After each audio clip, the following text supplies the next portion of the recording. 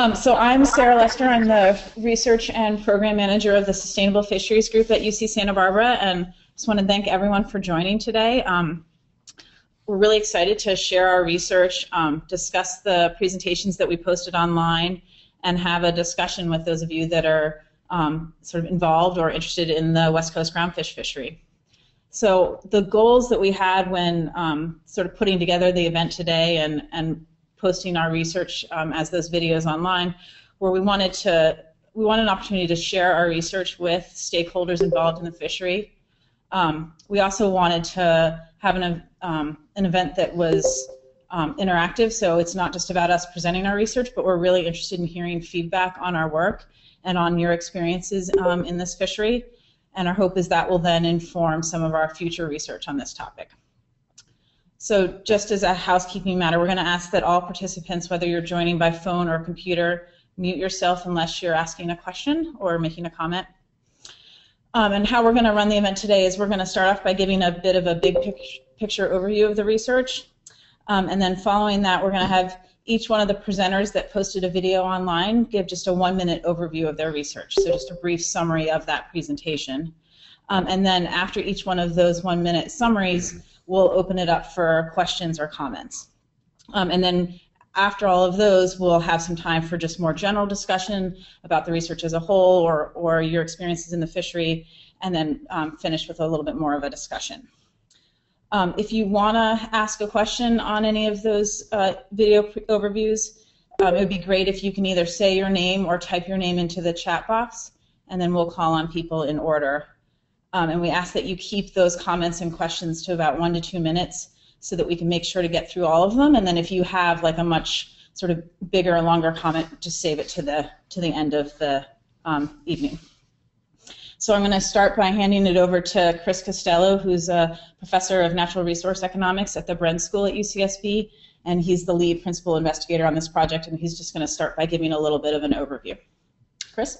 Great, thanks Sarah, and welcome to everybody. Thank you so much for your time. We know everybody's time is precious, and one of the reasons we chose this format is to sort of hope that we get the broadest participation possible. So we're really looking forward to the next couple of hours, and you know, we'll try to keep our comments to a minimum because really, as Sarah said, we'd like to, to get feedback from you and get ideas from you. So let me make a couple of introductory comments and then we'll get started. Um, this, the research we're about to discuss is, in a sense, the culmination of a Sea Grant funded project that is a collaboration between UC Santa Barbara, where we are sitting here, and researchers at the University of Washington. Uh, the videos have, that have been posted online include uh, several research projects resulting from this grant and some related research that isn't directly funded by the Sea Grant project, but is, is you know, directly related to the work um, that is by the Nature Conservancy. As I think most people on the call know, in January of 2011, the West Coast groundfish fishery transitioned to a multi-species ITQ, which is a form of a catch share um, in which fishermen own shares of total allowable catch of all target and, and most bycatch species in the fishery. The, one of the main purposes of this research project was to examine the, the impacts of this switch to ITQ. So looking you know, before the ITQ and after the ITQ, and looking at how the, the implementation of that new management approach changed fishing behavior and other socioeconomic factors. One of the reasons we chose this fishery to focus on, and I think one reason Sea Grant was interested in it, is that it provides really probably the best example anywhere in the world of the weak stock hurdle that faces many fisheries around the world. Um, species such as yellow eye and canary rockfish have historically been overfished, mostly because they grow so and reproduce so so slowly. And so, as a consequence, they have very low annual catch limits, which in principle could be exceeded in a single haul. And we know that that has caused a lot of trouble for the fishery in the past because it may limit the catch of target species, uh, even though there, you know, there's an abundance of them, or potentially an abundance of them. So topics covered in this research project include an analysis of the weak stock challenge, um, including the formation of risk pools and the idea of gear switching, spatial and temporal fishing patterns and how they were affected by the ITQ, and discarding. So, you know, we we feel that this project provides a unique opportunity not just to learn what changes um, arose from the transition to ITQs in this fishery, but also to evaluate the benefits to fishermen resulting from different kinds of cooperative mechanisms. And our hope is that the, the insights that we gain could be useful not just for this fishery, but for other fisheries. So the, as Sarah mentioned, what we'll do now is we'll uh, move to kind of the next phase of the presentation where each video that's been presented, that's been posted on the, on the website, um, will, so the author of each video will give a one minute overview of their research. And then I think the idea is that after each of those one minute overviews, we'll open it up to, to any questions that might arise. And then once we've gotten through those, we'll move to the next one and so forth. Is that right? Yep. Okay. And we'll start with yours. Oh, and I guess you can see the, oh, I'm, I'm first. Here we go. Okay. Okay. So, you know, I, I'm sure not everybody has seen the videos. We, we were asked to keep them to around 15 minutes. Um, mine is, is happens to be the first one posted here, and what I'd like to do is just give a quick overview of that. My um, research project that I decided to highlight is a little bit unique in the collection you'll see because it it uses a data set that's broader than it includes the West Coast groundfish fishery, but it's much broader than that. It includes, in fact, fisheries from all over the world. And the purpose of this research project was to look both theoretically and empirically, that is, theory using you know economic theory and fisheries theory, and then empirically using data from fisheries around the world to ask the question whether the switch to ITQs or other forms of catch shares changes the way that fishery regulators manage fisheries. So that's the main research question. And the mechanism through which we think this might occur is that is through a change in incentives to the participating fishermen. And so the basic idea here is that when you switch from something like a limited entry system, which we've had in, in the United States, to an ITQ system where fishermen are given a guaranteed stake in the fishery over the long term, um, that potentially changes their incentives uh, to lobby the regulator or otherwise influence the regulator on fisheries catch. And there are lots of anecdotes around the world about this, but no one's really done a comprehensive analysis of it. So we started out by building a theory of this and showed that under certain conditions you would expect this to arise. But then I think the real contribution of the paper is more empirical. We collected a data set of fisheries all over the world that have stock assessments, and we looked at the when those some of those switch to ITQs and some of those don't um, about half switch and about half don't. And the ones that switch do it at different times. And that gave us enough sort of stratification or enough uh, variability to be able to test empirically whether the fisheries are managed significantly differently when the, the ITQ is adopted. And we found empirically, consistent with the theory, we found that in fact they are. As soon as the ITQ is adopted, the fisheries tend to be managed uh, more conservatively and that that result is strongest when the fishery is in need of rebuilding. So if stocks are particularly low, the fishery manager lowers exploitation a lot more when they switch to ITQs than if they don't switch to ITQs. And so that that was uh, the paper, and it's co-authored with a guy named Corbett Grainger at the University of Wisconsin. And I have a draft of the paper, which I'm willing to share with people. So you're welcome to send me an email if you'd like to see see the whole paper. I'd be happy to answer any questions if, if there are any. Great, thank you, Chris. So um, if anyone has a question or, or a comment on Chris's presentation, um, if you could just say your name or type it into the chat box. If we have multiple questions, I'll, I'll then call on people in order.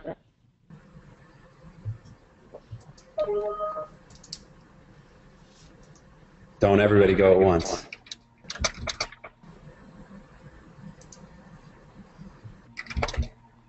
And if not, we can move on. This is Mary Hudson.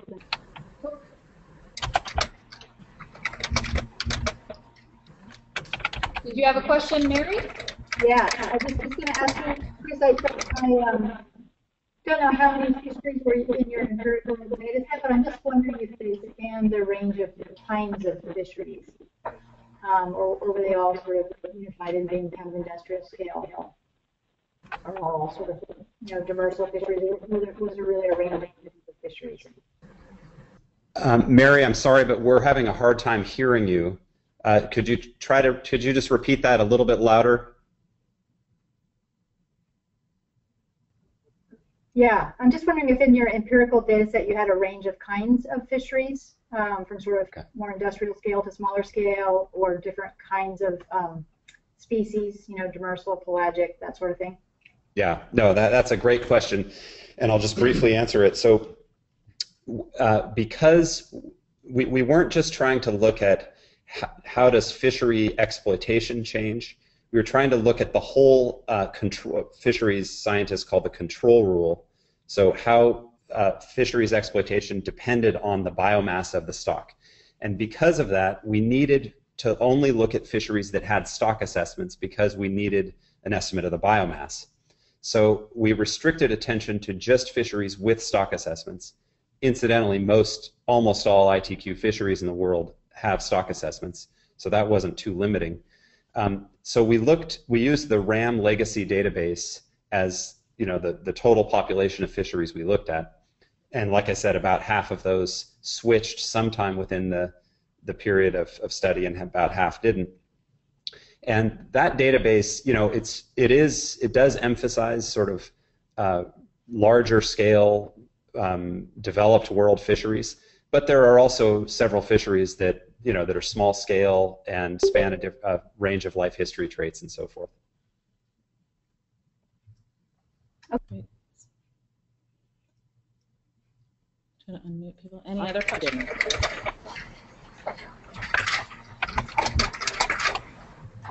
All right, we will move on to our next presentation. Um, this is Kate Labram from the Nature Conservancy, who's going to be talking about TNC's engagement in the groundfish fishery um, and results of their work with the California Risk Pool. Kate?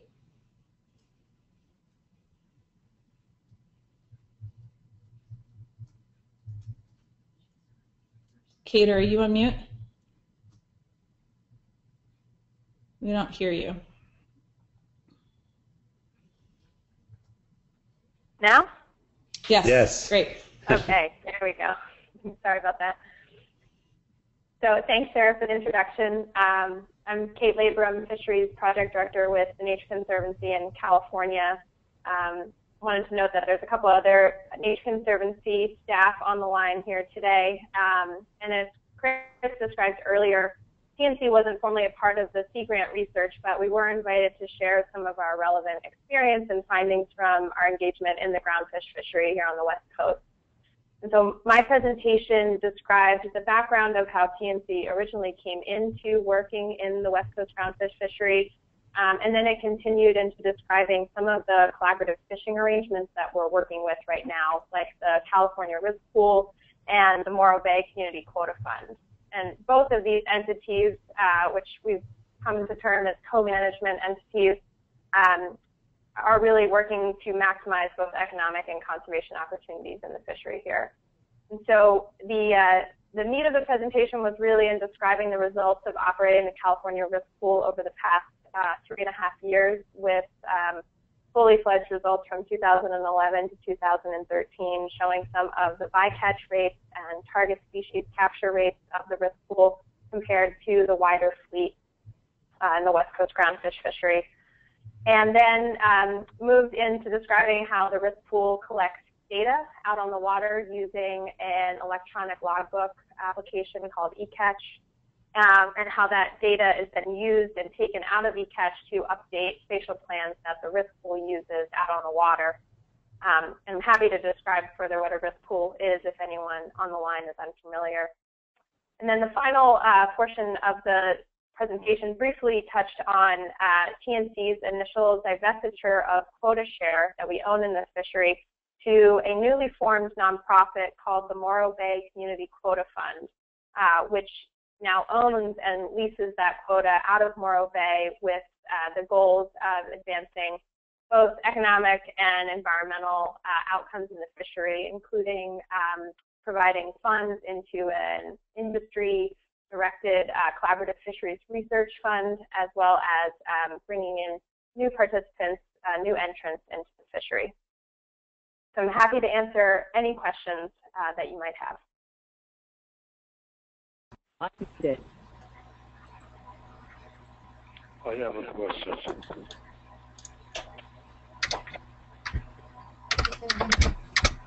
Do you have any? Oh, I was muted. Okay. Any questions for Kate? I have a question.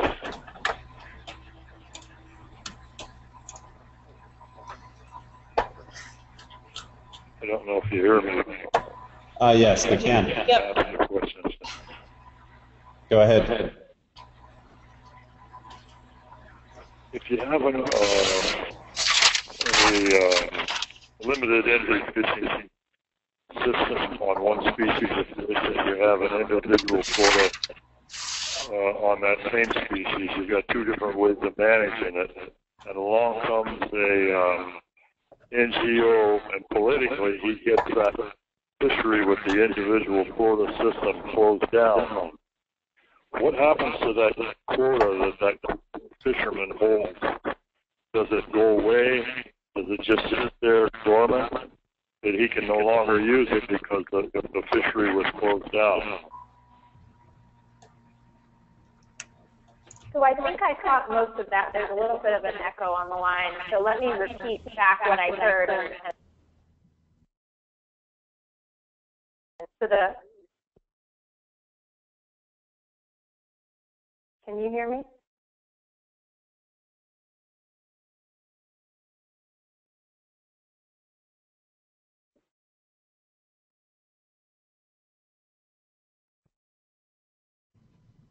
We can hear you, Kate.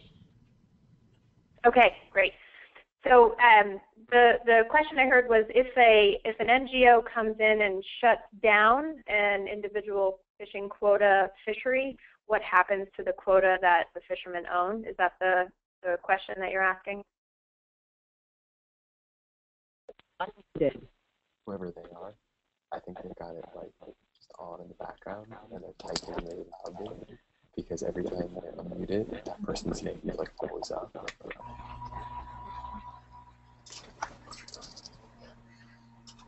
So I'm I'm getting a bunch of echoes. I don't know if anyone else is hearing better. Perhaps that's on my end. I think we need to.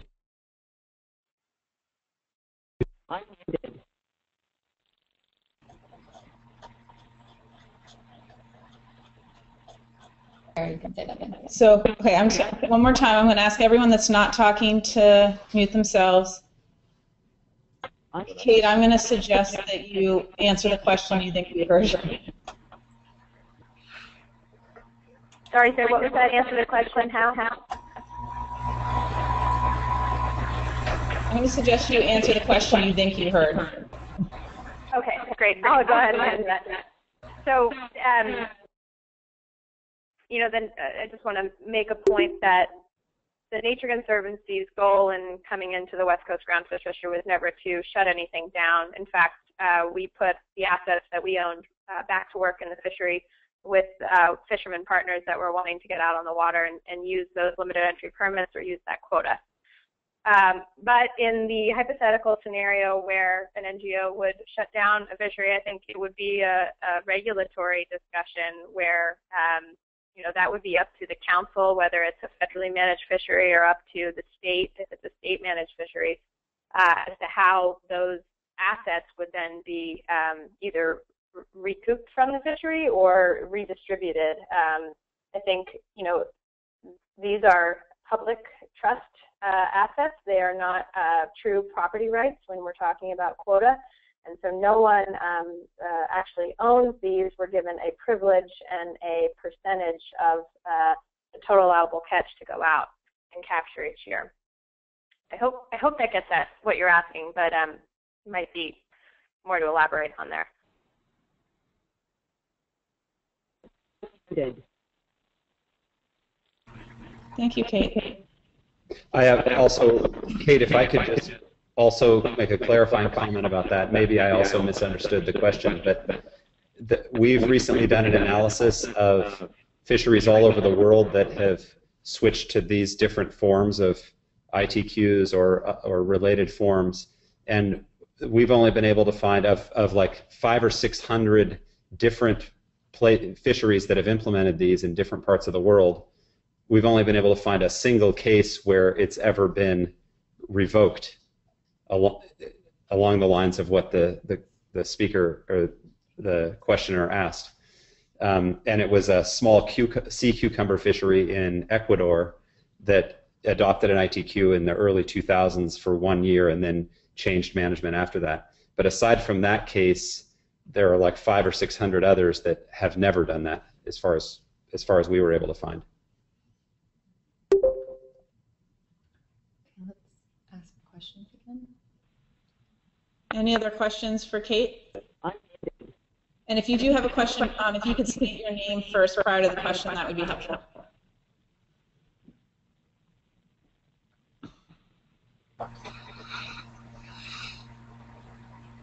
All right. Thank you, Kate. We'll, we'll move on to our next presenter, um, Peter Kuriyama from the University of Washington, whose presentation talks about incentivizing selectivity in the West Coast groundfish fishery. Peter?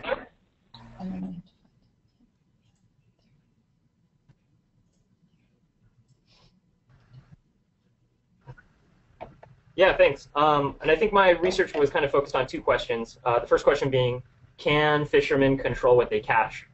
Um, can they become more selective? And then the second question being, what are the costs associated with that selectivity? Um, and then to answer the first question, I think yes, fishermen can control what they catch to a pretty significant extent. And that was shown in kind of looking at the utilization ratios, the catch to TAC ratios for things like canary um, and yellow eye rockfish. Um, and then sort of what are the costs of that? Um, the costs are that they're leaving a lot of fish in the water in the west coast. Um, and to get at that, we compared a very similar fishery um, that went under catch shares a little bit earlier in British Columbia, um, where the restrictions are much, much um, less. And they were able to catch a lot more of the allowable catch. Um, so kind of focusing on those two questions. Thanks.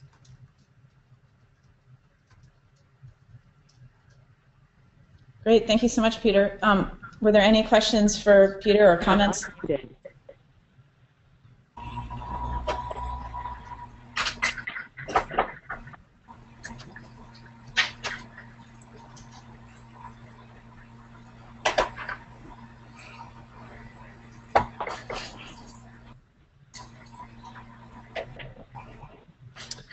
Peter, um, I have a question for you. Could, I wonder if you could just make a few other comments about what, how those two fisheries were different. The, the BC implementation of a multi-species ITQ and the West Coast groundfish uh, ITQ. Uh, yeah. So I think the, the main difference had to do with kind of these weak stock um, constraints. So, for example, in the BC fishery, there is no real analogy to yellow eye or canary. Um, you know, some stock that only allows 0.6 metric tons to be caught in a year. Um, there are some really low TACs in the British Columbia fishery, but um, I think largely it's there to protect the recreational sector that's targeting the same stock. Um, so an example I think is yellow eye, quillback, um, China and tiger rockfish. I think I think that's the right complex. Um, so in BC, they have a one area has a really really low allowable catch. Um, of, I think of like 0.5, 0.5 metric tons. And then in the recreational sector, the allowable catch is 49 metric tons. So it's really not operating in the same way that a yellow eye or a canary is on the west coast. Okay, thanks. Okay, thanks. Any other questions for?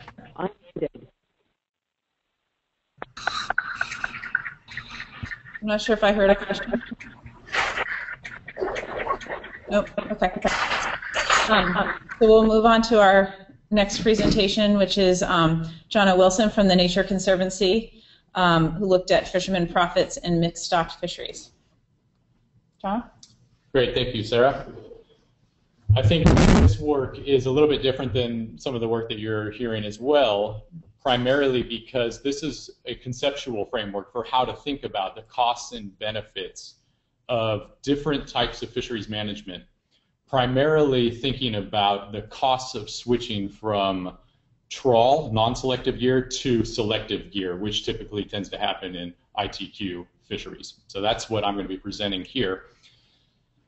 What we do is we lay out a hypothesis for the relationship between aggregate profits and the costs of selective targeting of productive species. And it's important to clarify, which I generally mentioned, that selective targeting of certain species typically costs more than uh, non-selective targeting using gear such as trawls. And so we look at the costs and benefits of this selective targeting under four different types of management. The first is the traditional limited entry approach. Then we look at uh, an approach where there's a limited entry system in which a spatial closure is placed on top of that limited entry approach. The third type of fishery management system that we explore is an IFQ uh, approach, an individual fishing quota approach. And then the fourth, lastly, is an individual fishing quota approach with a spatial closure, an MPA placed on top of that. So in essence, what this work distills down to is a set of hypotheses that describe the circumstances under which profits in an ITQ are greater than profits in a limited entry system, as well as we also hypothesize the circumstances under which MPAs affect profits in each of those types of fisheries, the limited entry and the IFQ fisheries. We propose a set of hypotheses that I think I will conclude with here to drive this point home of what we looked at. We hypothesize that if an MPA does not improve profits in a limited entry system, then it will not improve profits in an IFQ system. Secondly, we suggest, we hypothesize that if an MPA does improve profits in a limited entry system, then it will also improve upon profits in an IFQ system, but only, and this is important, when the cost of targeting selective species, targeting uh, specific species, is high. Third, we hypothesize that if the cost of gear switching from non-selective to selective gear is zero. So if there's no cost of doing that, then an MPA will not improve upon profits in an IFQ system. And then lastly, if the cost of targeting, of gear switching from non-selective to selective gear is low, then an IFQ alone, the system of IFQ as the, as the management system, accounts for the highest profits related to any of those other different types of fisheries management scenarios and I will open the floor to questions. Thanks, Jono. Um, so any questions for Jono? I did.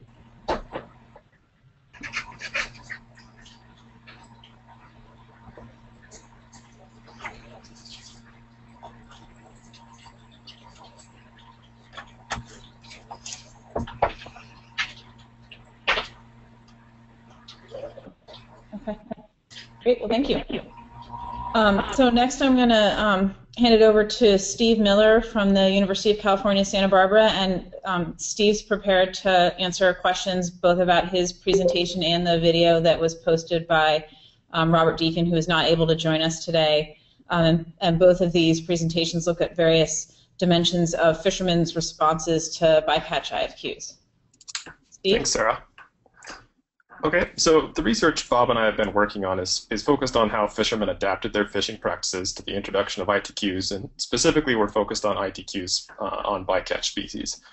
And our motivation for studying this is pretty straightforward. Uh, ITQs can be seen to impose a cost for every pound of bycatch that a fisher catches, and if those costs are greater than the price that the fisher can get for that species at the dock, we expect that he's probably going to find ways to avoid catching those bycatch species. And so this is similar in nature to what Peter mentioned, but our focus is really on sort of how fishermen are actually achieving this. And so we try to document and test for evidence of several ways fishers adapted their fishing practices to avoid these quota costs for bycatch. And to do this, we made use of uh, quite a bit of trawl logbook data from the fishery, as well as a variety of price data for both the fish and some fishing inputs and some catch data for the fixed gear fishery as well. And just to jump to the results, we find evidence of four main types of adaptations that we document in the paper uh, spatial shifts, shorter tows, fishing more at night, and increased use of fixed gear. So none of these are particularly surprising, but our focus is really on trying to document and establish that this was actually a response to bycatch IFQs and not just the result of something else. And just to drill down on a couple of these, uh, we do find that fishers differentially avoid areas, uh, so they uh, change where they fish, and they avoid areas with higher bycatch incidence.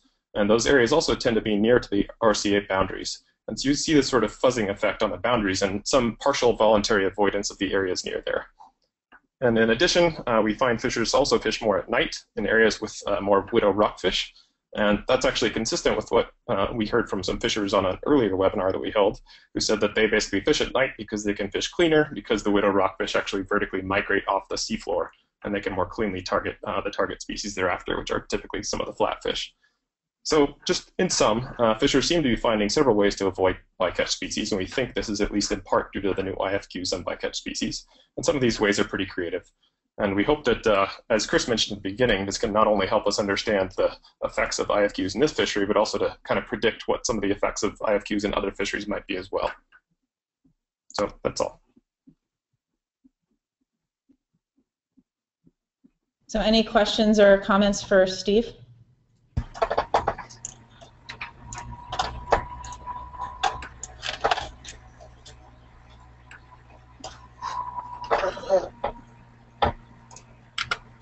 Next presentation by Kotaro Ono at the University of Washington, looking at how fish populations respond to fishing.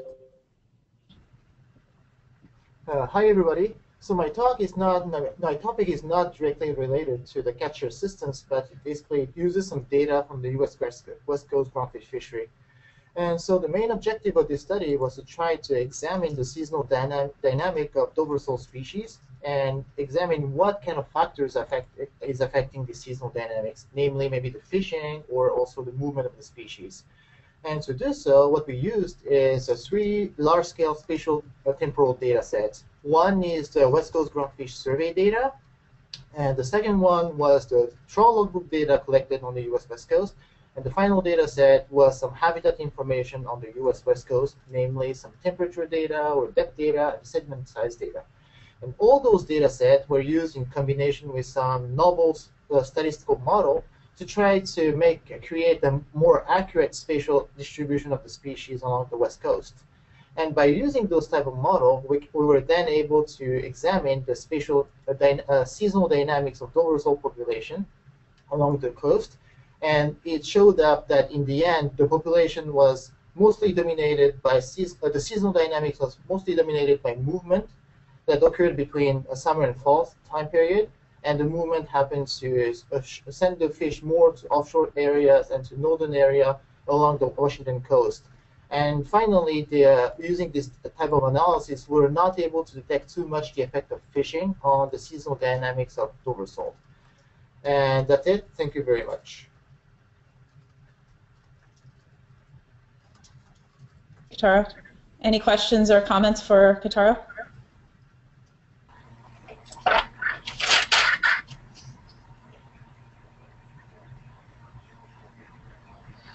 All right, well then, Trevor, I'll hand it off to you. So Trevor Branch, also at the University of Washington, um, whose presentation talked about uh, catch shares and specifically expectations from other fisheries. Hi, I'm Trevor Branch at the University of Washington. Um, much of what I've done in the past is look at how catch shares change things before and after. Um, and so I want to just have a very general overview of what we expect to happen under catch shares. Um, the key reason catches are usually put in place is for economic reasons. So usually they improve prices. Um, you create a valuable asset, which is the quota share itself. Um, I know it's a privilege, but for many reasons, it's often treated as an asset. Um, so for economic reasons are usually why catch shares are put in place. Um, what I found looking at um, a past comparison of British Columbia versus the West Coast um, groundfish fishery was that some other things happened in British Columbia when they shifted over to catch shares, namely that um, discard rates went down, so people threw less fish back overboard because of regulations than on the west coast before catch shares were put in place.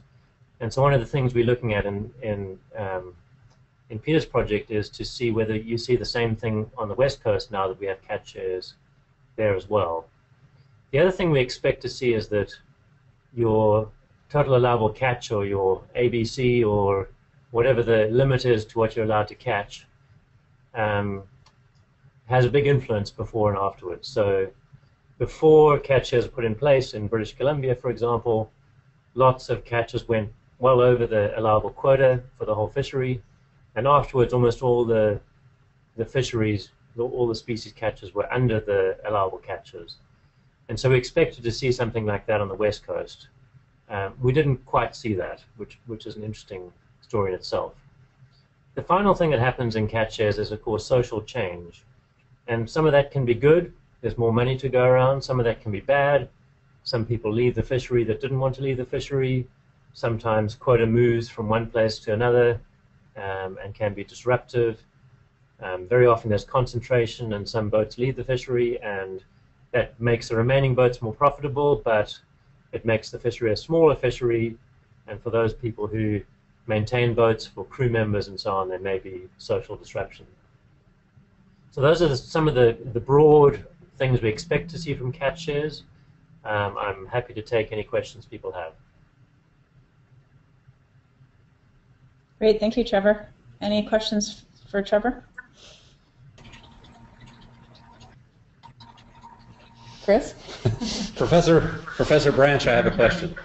Um, Trevor, I wonder if you could, since you have this vast experience um, from looking at all these different systems, talk a little bit about the different ways that catch shares are designed. I mean, it's clearly there clearly isn't just one form of catch share. There's all these different things you can do. Have consolidation limits and have other kinds of restrictions on trading or ownership. And whether those things might be fine-tuned in a given fishery to try to minimize the negative kinds of impacts that you that you just raised.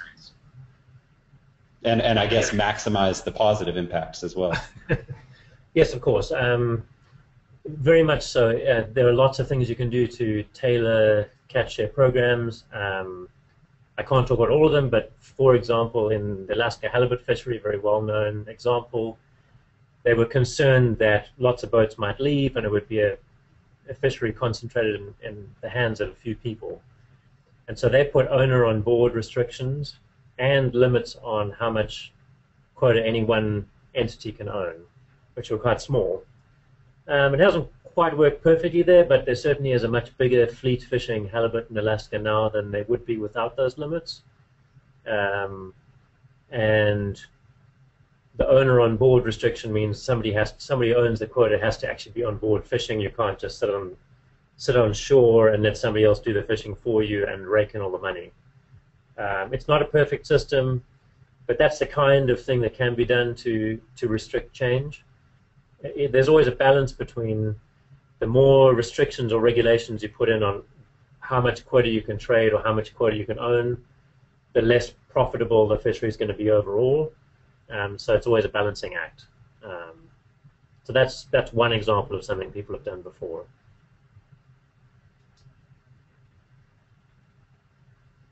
Over and out. Great. Thanks, Trevor. Thanks. uh, any other questions for Trevor? And you know, at this point, I'd also like to just open it up to any more general questions about um, this research project.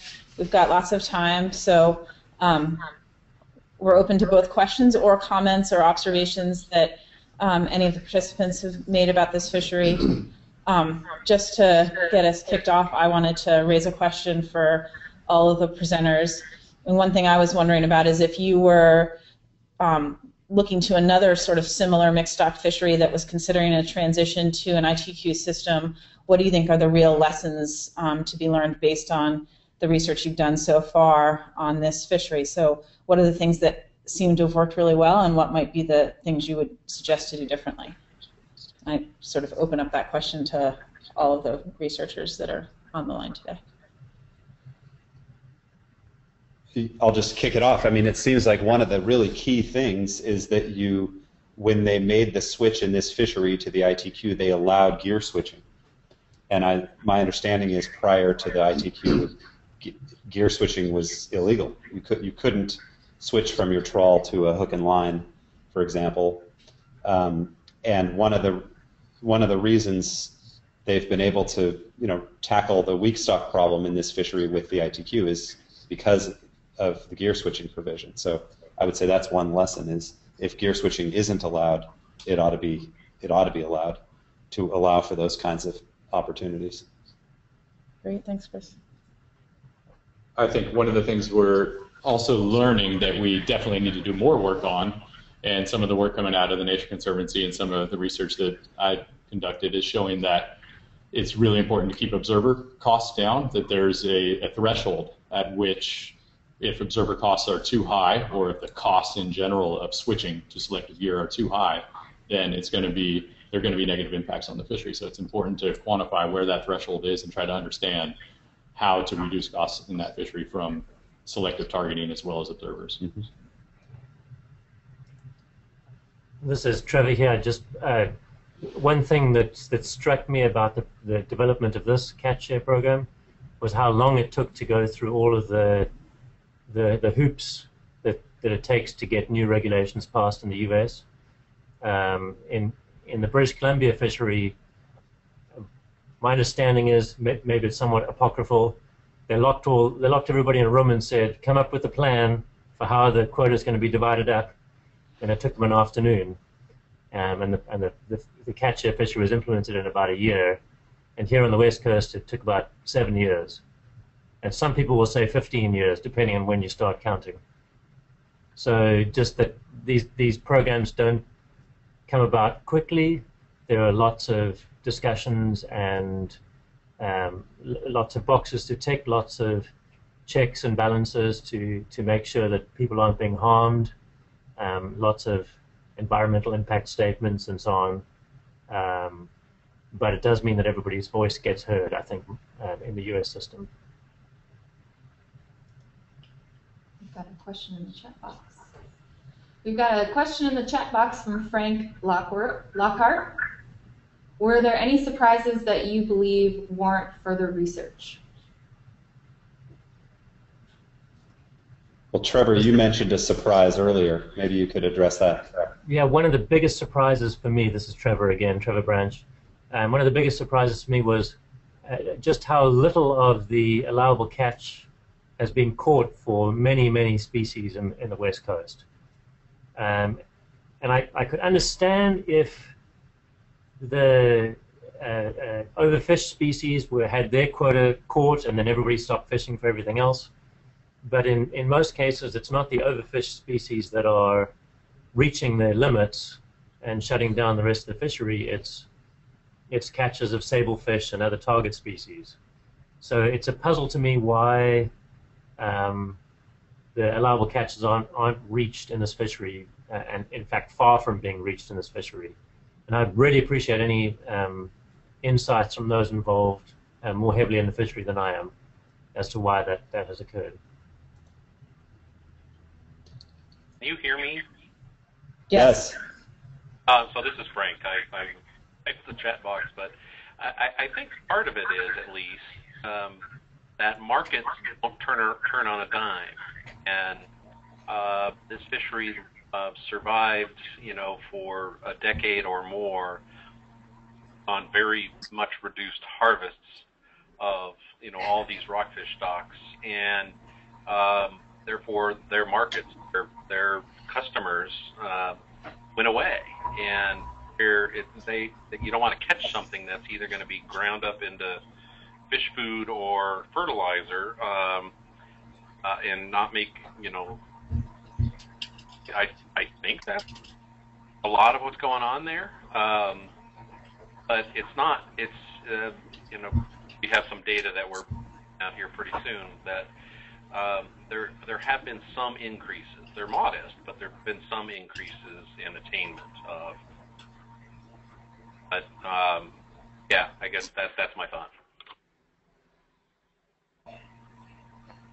This is Ian Taylor. I have a comment hear me? The, the one overlay, this is Shems Jud with Environmental Defense. I think I agree with Frank that a lot of it is market constraints. I think another piece here, too, is that in some ways we have kind of two regulatory systems still over, um, over each other, right? A lot of the pre-IFQ regulations remain in effect, and we have the IFQ regulations. And so we haven't seen some of the efficiencies and really come online that I think we would have anticipated. I think a good example is the yellowtail rockfish fishery. Um, right now, you can only fish yellowtail rockfish once the whiting season starts in mid-June. It's a huge TAC. They're catching about 20%, and part of the reason is the season's six months long instead of 12. So I think that's I think that's another important piece there too, Trevor. You hear me?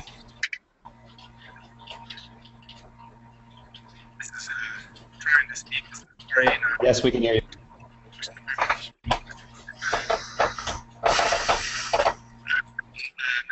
Fish management team for about seven years now, and I've just ended my time with the, the graphics management team. But uh, I would say the, the answer to Trevor's question about about sablefish in particular is that in surprise it was a surprise to me that you know we focus a lot on overfish species as being constraining, but sablefish actually I think if some of our uh, my other colleagues were here, it actually turns out to be constraining uh, on the harvest of other species. So they run out of sablefish or they run out of, of, of canary rockfish, yellow eye rockfish.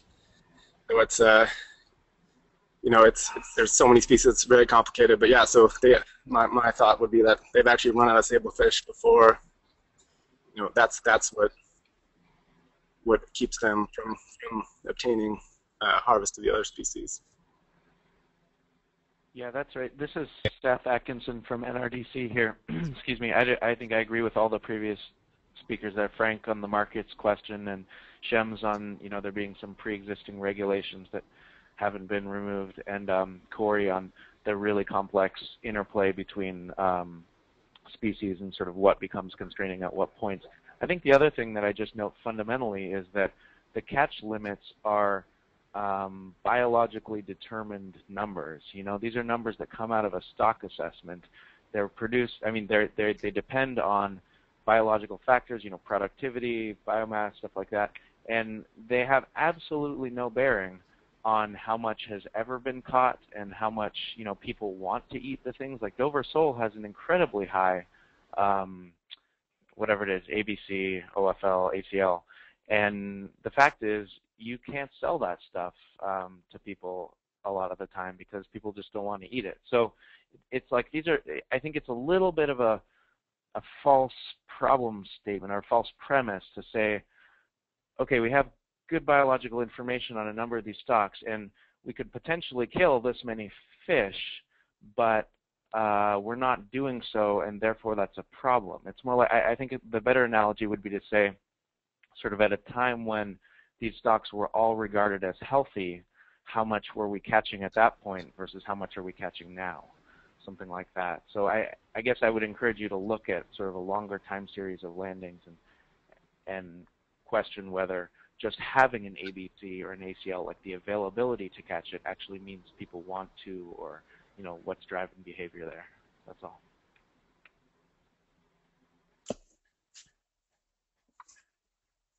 Yeah, this is Corey from Washington again.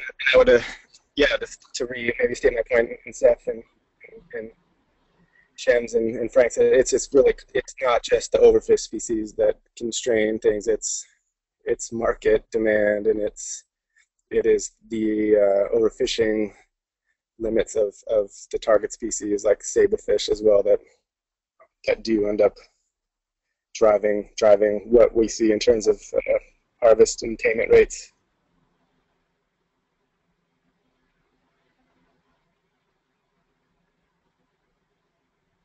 Those were all really useful comments. Um, back to Frank's original question, do any of the other researchers have sort of surprises that they've encountered that they'd be interested in pursuing with future research or think would be a good future research project?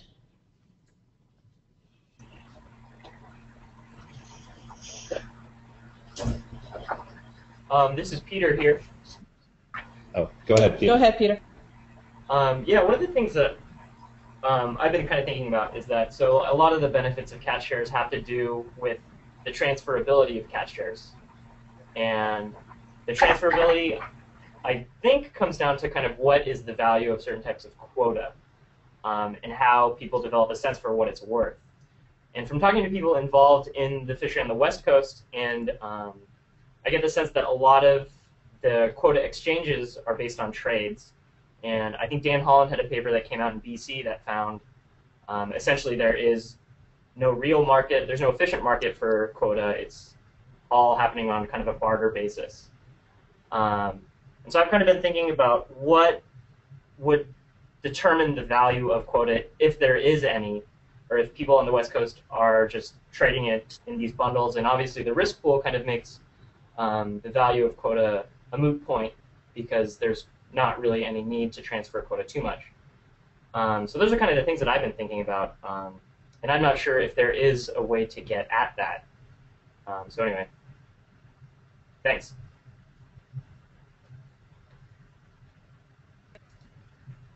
I wonder if Steve Miller would like to respond to that because one of the things I know that Steve and Bob Deacon did in the research project that Steve mentioned earlier is uh, Peter is that they they were so what they did is they looked at this very detailed data set of where fishermen fish and what they caught there and were able to back out kind of an implicit price. So how, how hard were they trying to avoid species X versus species Y and in a, in a way that sort of starts to get it I think an answer to your question so even if there's no there's no actual price they might try to avoid these because of constraints that they may hit, either because it's hard to barter that species or for some other reason.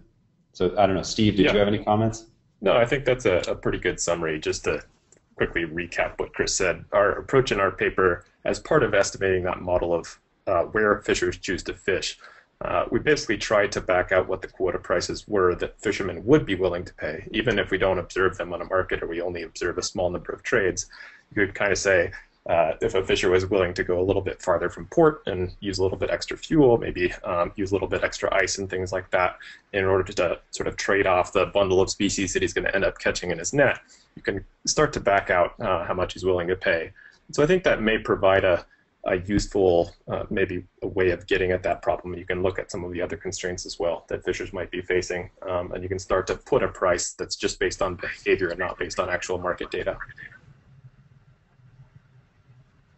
Cool. Thanks, Steve and Chris. Um, I was wondering if you remember what, in what in general, I guess the the cost of yellow eye avoidance was, um, because I'm talking to some people who are kind of on the the um, management side of it, and they say that fishermen are completely unwilling to trade any yellow eye quota at any point until essentially the end of the year, right before Christmas.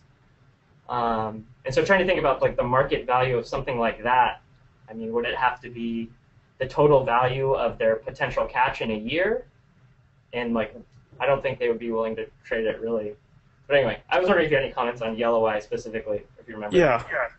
I'd have to look back at the exact numbers, but from what I remember, it depended a little bit on what assumptions uh, you're willing to make about uh, some of the different uh, fuel burn rates and things like that. But it, I think in the low end we estimated something around ten dollars a pound, um, and on the high end uh, it was up to about fifty. But I, I have a little bit more faith in the ten dollar number.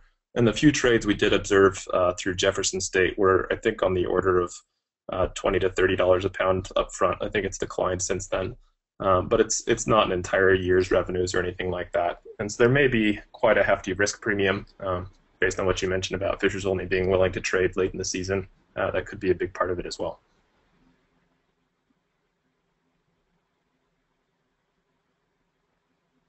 I have a. Are we, can we Okay. move on? Yeah. Okay. I, I have a question, um, or you know, an area of research that I think is has been stimulated by this work, and it really has to do with the role that the Nature Conservancy has played in this fishery. You know, we sort of take it for granted because we all live here and we've grown accustomed to TNC being involved in Morro Bay and elsewhere, but it's pretty unique. And if you look around the world at other weak stock uh, type fisheries, you don't you don't see that. You don't see engagement by NGOs that, that are not just trying to shut the fishery down, but in fact the opposite, trying to work with the fishery to make it more productive, more profitable, and you know have a longer, brighter future. At least that's my my perception of TNC's involvement. so I think that raises questions about, I mean, fully admitting that there are lessons learned, and I'm sure TNC would admit there are things they would do differently if they could do it all over again. But those caveats aside, I, I think it raises questions about whether that is a model for you know cooperative formation or risk pool formation in other fisheries like the West Coast groundfish fishery that have these you know these risky this this chance of a risky tow because of the weak stock problem. So I'd be very interested to hear thoughts, particularly from fishermen, if, if you know if they're willing to say about how they view TNC's role and whether they think something like that could work in other fisheries. Or, of course, comments from any, anybody else who has something to say on that.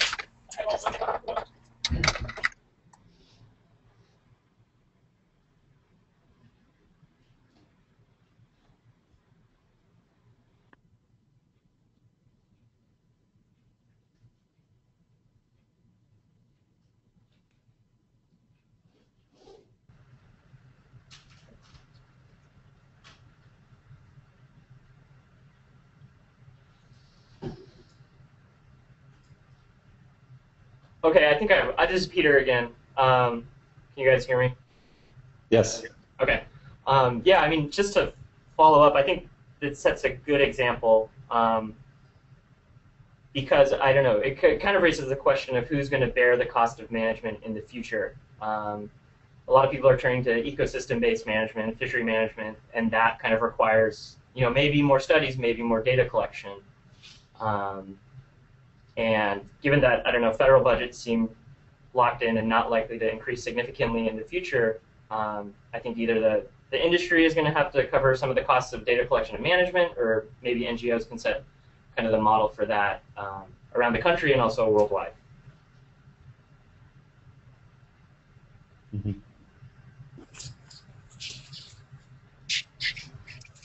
Yeah, this is this is Barry from Washington again. With, From the last couple comments, the market has ever been given the, the market is given a chance to work, and I, I started a couple years before this, few years before this program went into place, and even then, and, and people were in close contact with British Columbia folks, and the British Columbia folks were were were uh, definitely influential in, in getting people support for this program, but it was always it was always going to be the thought was it, the market is not going to work, and it's and yellow eye is is, is the extreme example. It's a, it's very very rarely caught in trawl, but um, everyone is worried about that, and that's and, it's this it might be a case of this is where you know irrationality shows that you know, rational markets it don't work, and this is nothing. Risk pool is nothing more than insurance, really and it's happening everywhere, you know, in, in other sectors. But this is, you know, when you, when you, I, think Steve, Steve Miller's presentation had it was like fifty dollars a pound for yellow eye, or in one assumption ten dollars for the other, which is is really really low compared to how people are actually presumably reacting towards the risk of, of yellow eye. So um, it's just maybe it's, it's a good example of people's perceptions versus fears of reality. And, and watching his presentation, and kind of wondering how much he could, uh, if, if we up the yellow eye by, you know, it's now like one metric ton for the whole IFQ sector. What if we doubled it to two metric tons? You guys think your techniques could differentiate what, what the effect might be on the fishery if that's something that's possibly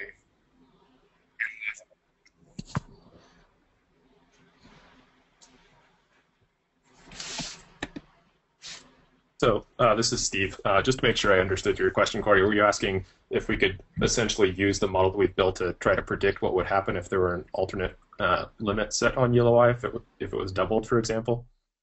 Correct.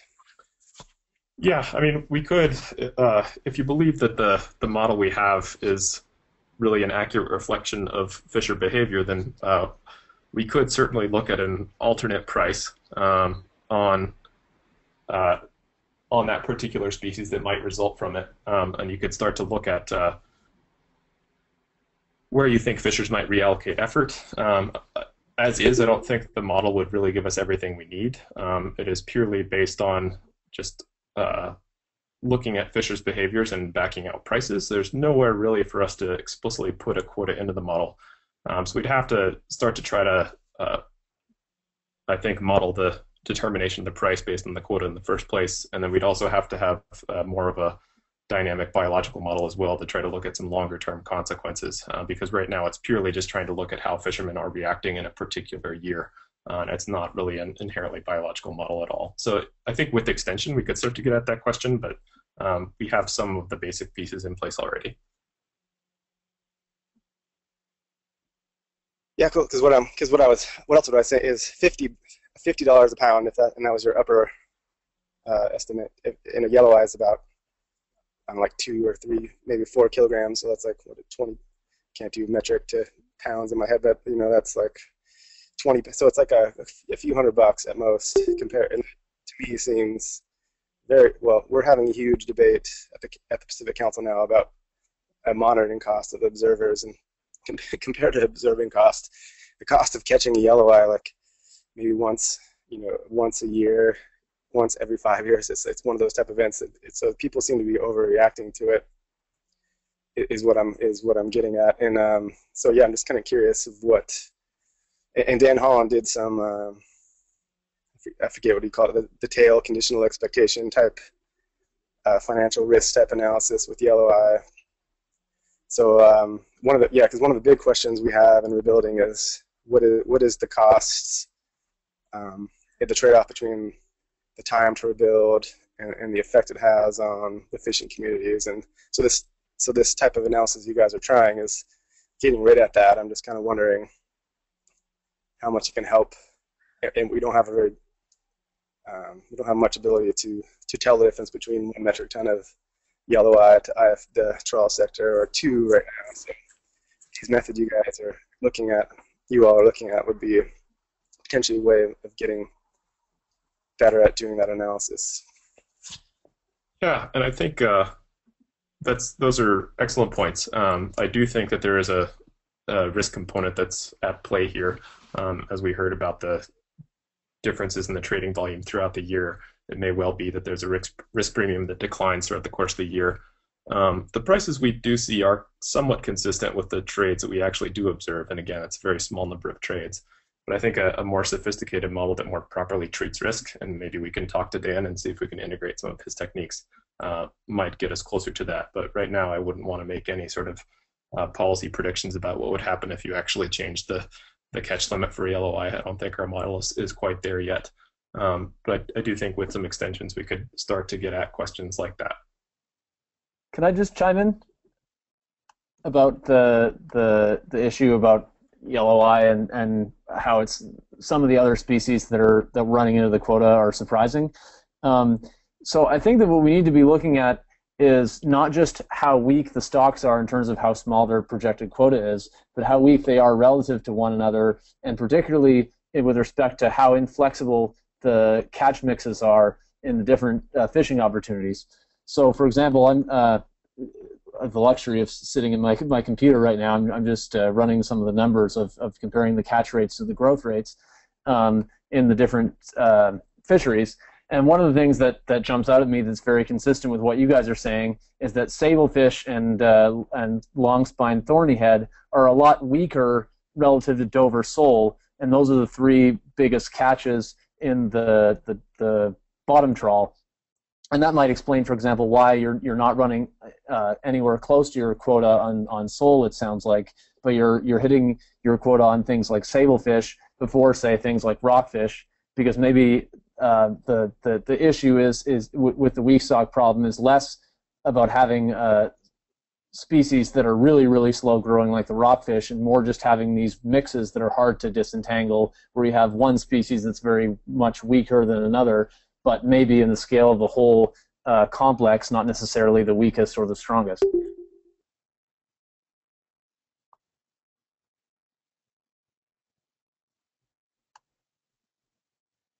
Can people hear me? Okay, we've got a question. Yes, thank you. Um, we've got a question in the chat box. Uh, the question was from Santee Roberts. Could you talk a little bit more re gear switching? For example, why do some ITQ programs disallow gear switching? Which conservation benefits are not as great when there's no gear switching allowed? What about outside of ITQ programs, i.e. just in LE programs?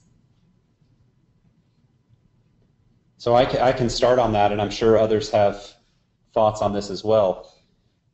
My understanding um, is that, and maybe this is naive, but is that the programs that disallow gear switching, that that's really just an artifact of history, where when in a race to fish, you know, in a limited entry system where the only thing, the only way the manager can can regulate the catch is by shortening the fishing season um, that creates an incentive for everybody to go out and fish as fast as they can.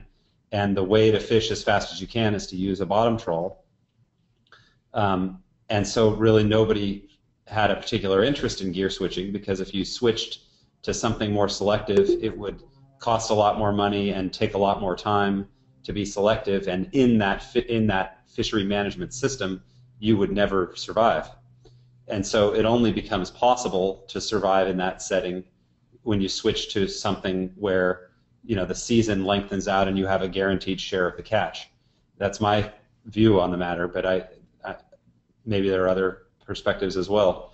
And so it really it's sort of a recent phenomenon for and, and the other point is that it's only really a relevant issue uh, with mixed stock fisheries. If you have a single stock fishery and you switch to an ITQ, there's no particular reason you would want to switch gears from a fisherman's perspective, although there might be ecosystem benefits, for example, from reduced um, destruction of bottom habitat. Although that's not always the case either. Sometimes bottom trawls are relatively benign in some habitats. So anyway, I, I think the point is that uh, gear switching becomes particularly relevant in multi-species fisheries that are switching to an ITQ, like the one we have here. So I think that's why we don't hear so much about this issue but as uh, multi-species ITQs become more and more popular um, for a variety of reasons, I think we're likely to see more discussion about gear switching. This is Trevor Branch here. I think this is an, an interesting question. Um, it's slightly broader than just switching gear, but um, one effect that catch fisheries do have is, is, they make it more expensive for people to enter that particular fishery um, because you have to buy a quota to get in, and that makes it much harder to have quota ownership of multiple fisheries. And so, one consequence of catch shares can be that you might have somebody who's part of the year fishes shrimp, part of the year fishes crab, part of the year fishes groundfish, part of the year fishes halibut. And if all of them go to catch share fisheries and, and that person has to buy quota for each of those four separate fisheries, they may not be able to afford to enter all those fisheries. Um, so you might end up with much more specialization. Um, and that's fine provided all the stocks are in good shape, but it's, uh, it's, it's a much more risky scenario if one of the fisheries does badly, then you're stuck with the fishery you bought into, um, and much more expensive to go and change to another fishery. So some of these um, bigger effects touch on gear switching, but also on, on fishery switching as well. And how best can you minimize your overall risk of fishing by having a portfolio of fisheries you can enter versus specializing in one fishery and making a lot of money from that particular fishery. Yeah, this is Corey from Washington again, and um, a, couple thoughts of uh, you know, again, being being here during the development of our our Pacific Coast program, and one, you know, I, it's not all about it's not about conservation necessarily. It's about you know, economic efficiency is what IFQs are are best at, and the count the Pacific Council made a had a debate of whether to have uh, three sectors, like or or four sectors. I might be getting numbers wrong, but it was really about you know when you can consider the the whiting sectors and so uh, they considered to have um, the shoreside whiting sector be part of the bottom trawl IFQ sector, combine those two instead of having them separate, and then, then keeping the mothership whiting sector and in the at the catcher processor sector separate. And so it was probably just about as much as, as fairness and equity investment as anything else. And then maybe some thoughts about when they decided to combine the whiting sector with bottom trawl sector. It was maybe about having what the whiting, which is very valuable, and, and the non-whiting, which is you know of sablefish and Dover sole, petrale sole, some of the thorny heads are where 90% of the money comes from. You know, that, that's that's where it was. It was you know, that was the consideration was. But with the gear switching uh, and, and efficiency and all that, it's it's really to me it's become it's really interesting example of you know how of, of those considerations of fairness and equity and, and community social considerations versus economic because um, when you, when you gear switch on the west coast what it really means is is your is when you go from trawl bottom trawl to fixed gear it means you're it means you're going to get you target sable fish. And so what we've heard from from the industry from public is that if you let the gear switching has let sablefish fishermen buy a trawl permit, which was a you know barrier to entry that to get into the IFQ fishery, that they you know, to get after the sablefish. Well, then you need sablefish to get the not just long spine thorny heads, but the short spine thorny heads. I think are more valuable. And so you need all the you need you need all those species to get the Dover sole and thorny head. You need sablefish to get Dover sole and thorny head. And so the trawling community was, bottom trawl community was coming out saying, well, you're going to perhaps put us, you know, at, at, risk here by if you if you let the sablefish go to the to the long line and, in you know pot or trap fisheries, then you're gonna you, you might reduce our ability to get Dover sole and thorny head. So again, maybe just a comment how more complicated that that reality is. And on this coast and maybe on many coasts and in multi-species fisheries than than models really are. But so that's the debate we've heard is, and I think in the first year of the program, 45 or 50 percent around that went of the sablefish IFQ quota, which was traditionally caught by the trawl fleet, was caught by hook and line gear, and I think it's back down a bit from that. But um, so that's the real issue we've been we've been dealing with in the policy arena.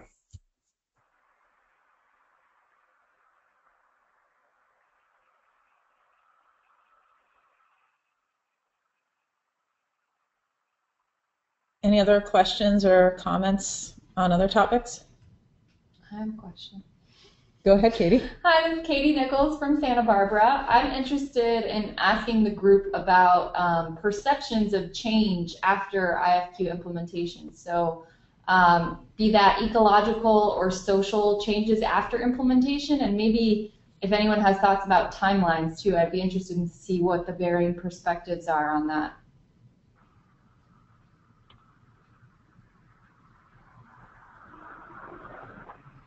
Maybe if we have any fishers on the phone too.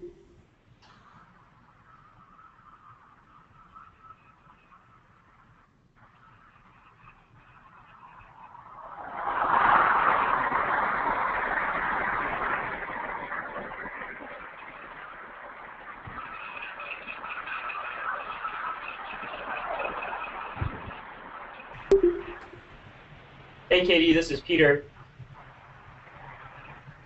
Um, and I, I think one of the coolest things about the West Coast um, groundfish is the formation of the risk pools and kind of what kind of changes are those bringing on. Um, and Ian Taylor, who I think is online right now from the Northwest Fisheries Science Center, um, kind of asked me a question about considering the risk pool as a success. Um, kind of what are the metrics that you would use to determine that the risk pool is a success? You know, maybe that's socially, economically, or biologically. Um, and I think I looked at the the catch to TAC numbers. That's kind of on a more fishery-based metric. Um, and I, would say that the results are encouraging, but um, maybe it's not. It's a little too smooth conclusions about it. Um, but maybe if Kate Labor to talk a little bit. But maybe if Kate Labrum has any comments on kind of profits in the risk pool um, in the past couple years, and just general um, perception that fishermen have about about that. Sure. Can you hear me okay? Yes. Okay. So um, I think if you were to ask one of the fishermen in the risk pool uh, what they perceived as uh, success in the risk pool, they would basically say it's what keeps them fishing. Uh, it is an insurance policy. It provides that backup uh, in case there is an event that's not predicted and hasn't been um, avoided out there catching overfish species.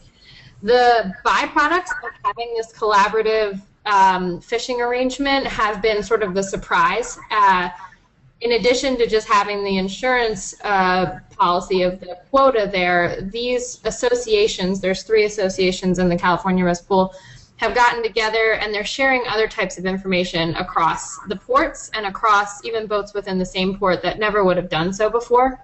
They're also finding efficiencies um, elsewhere in, in, in, the policy realm and actually um, coming together to put together things like an application for an exempted fishing permit to test out electronic monitoring this fishery and, and determine if there's ways to reduce costs out there. Uh, we have been keeping track of the fishermen's um, catch, uh, their total catch, their total target catch, their total um, overfish species catch, and we, instead of using individual profit data, um, which can be actually very difficult to track uh, amongst a large group, um, we're using just regular ex vessel value um, averages from, from the fleet. And with those numbers, the, the most important result, I think, is that when you look across the, the non-whiting fleet, so those, those fishermen in the West Coast groundfish fishery that are out there not targeting whiting, um, you see the risk pool catching a greater percentage of the target species in their area, which is basically south of the 4010 line, um, all in California. So things like uh, yellowtail rockfish are not a target species down there. Things like um, uh, arrowtooth flounder are a little bit less common as well. Um, and sablefish south is a main target species. In, in that region, the risk pool is actually uh, catching its target species at a higher rate when you compare it to the rest of the fleet. Um, and they consider that to be uh, the success of having the ability to share information with each other, uh, to use eCatch and then have the insurance policy and be able to go and explore areas that they may not have fished before and don't fully understand the risk uh, of, of the overfish species catch in that area and know that they have the ability to go in, test it. If it's uh, within the thresholds that the risk pool is set and abides by, then they can continue fishing in that place and potentially catch species that they wouldn't otherwise be able to. So I don't have any hard numbers on um, increased profits, but I think if you were to ask any of the fishermen, they could tell you uh, some of the benefits that they realize while being in the risk pool and what they really would think success is.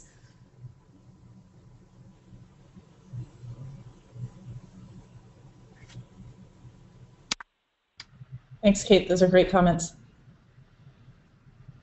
Any other questions or comments from the from anyone on the line?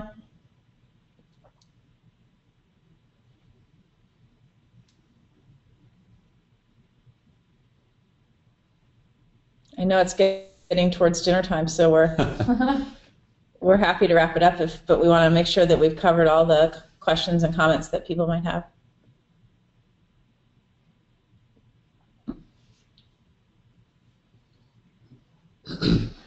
Wrap? Yeah. Great. Let me just conclude by thanking everybody for your participation. We really appreciate you sticking sticking around and asking great questions and providing good comments. Um, I think on your screen you ought to see our website, and so we'd love to hear from you if you have, you know, concerns, questions, ideas for collaborations, ideas for future research, even just questions about about the research. We'd love to hear from you. So feel free to be in touch, and uh, thank you very much for participating.